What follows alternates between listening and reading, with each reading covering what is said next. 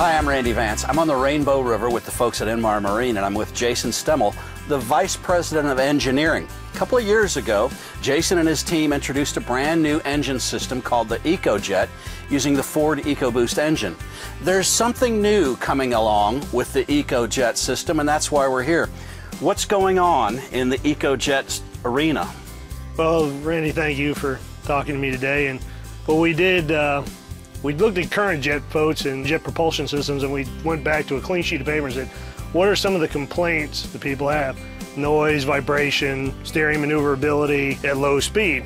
So with a clean sheet of paper, that's what we did. We created a new mounting system for the jet the jet that's in this boat right now is completely isolated with rubber mounts, where in a conventional jet it would be hard mounted to the hull, which will mitigate the vibration in the hull, it'll mitigate the noise, and in that mounting system, the boat builder only has to drill a one, six, and half inch hole in through the transom and mount what we call the horseshoe, then slide the pump in through the hole, and the pump is mounted and it's completely isolated from the rest of the vessel.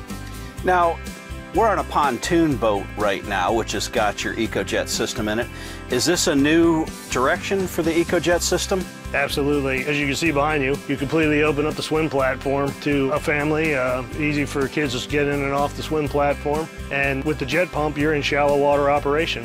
No worries about hitting a log or damaging a prop. Well, we're in a really environmentally sensitive area here with lots of grass, and we've been able to skim across that without even stirring up grass. That's kind of a cool thing. The other thing I've noticed, when you talk about maneuverability, particularly on a pontoon, what you run into is it takes a country mile to turn them with conventional propulsion. But we've pivoted them here inside their length with the jet. Yes.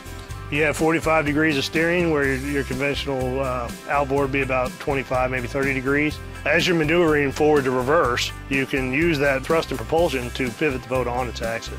Well, and the other nice thing that I notice about jets, and this is fairly common with jets, is that you don't have a lot of lock-to-lock wheel turning. No. So that making that full right to left turn is just about a half a turn, makes it really easy to pivot.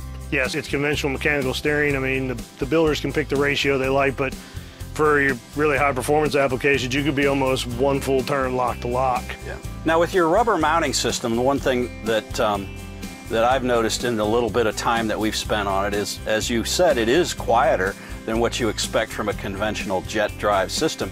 And a pontoon tends to resonate engine noise more.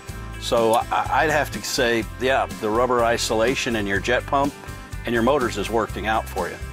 The other huge advantage is the EcoBoost itself. That 2.3 liter that's right below us is 310 horsepower and 350 foot-pounds. The difference though compared to your conventional PWC jets, this is producing max torque and at 2200 RPM and its max RPM on this particular jet pump, the way we dial the impeller in, is 4800 RPM. So you have almost half the RPM of a conventional jet. Now what's the advantage of that to the owner? Noise.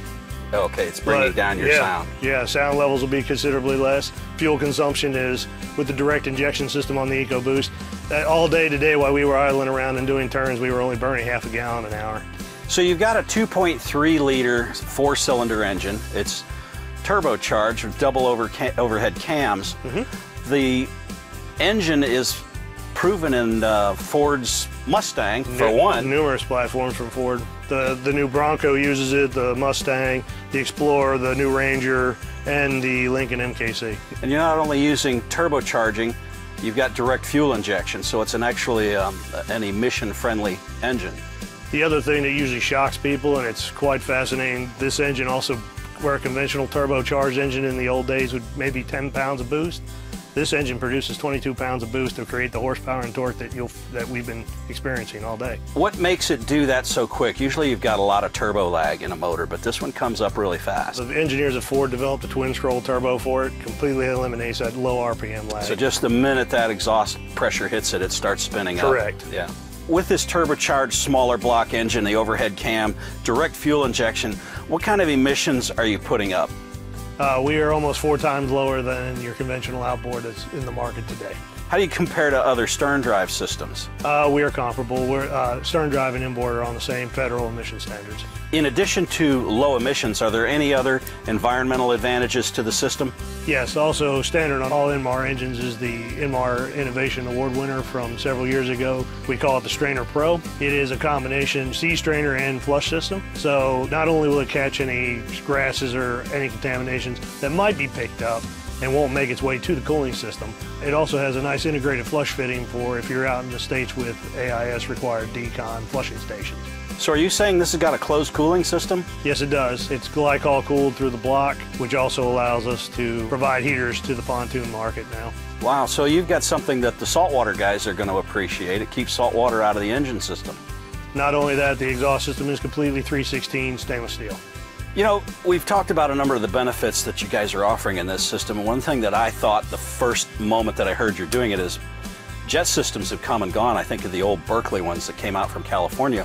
What made you guys think this is the time to bring out a new jet pump system? Uh, multiple reasons. From our experience in the Northwest market, we went with an axial flow pump which would handle rocks and vegetation and not prevent the jams of like the pumps you just mentioned from yesteryear. The other thing with the jet system compared to an outboard, there's no propeller as you're swimming behind the boat. Well, we enjoyed that today when we had the kids and families out there swimming hanging off the swim platform. You know, it's never safe to be in the water if the motor's running, but it's also a hazard to be around propellers if you're not completely aware of their presence, and kids tend to miss that. Jason, one thing I noticed on the dashboard on the uh, passenger console are there air vents there. What's that about? Thanks to the closed cooling system on the engine, we are able to provide a heater core similar to what's in your car. So with glycol in the system, you don't have to worry about your engine block freezing. How does that impact your winterization process? Uh, there are no raw water impellers to change or service yearly, and with one simple uh, blue wing nut, the system's winterized and the pump self-drains. Were you going to still fog the engine cylinders or not? Yes, uh, that's a, that's a included in your operator's manual. One of the things that I've noticed about pontoons in the last five or six years is more and more people are trailering them. Are there any advantages for these boaters with this system? There's no trim required, so you don't need to trim the outdrive as you get up You're not going to drag the skeg on the ramp. That is correct. How does the profile of this engine package compare with the profile of other jet drives on the market? It is slightly larger, but it replaces two engines into one with the amount of power produced. So you're getting 310 horsepower out of this one, just one engine. Correct. So how is that going to compare to other engine systems?